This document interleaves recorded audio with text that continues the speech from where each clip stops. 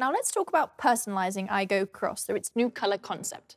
It is inspired by various spices to develop a unique range of colors for the Aygo Cross, each capturing the flavors and personalities of the car. Aygo Cross is available in a choice of four spicy bitone colors. Fun and fiery chili red, an adventurous cardamom green, a vibrant and original juniper blue, or a sophisticated ginger beige. Whoever you are, there's a flavor to match. Beautiful, aren't they? Which is your favorite spice?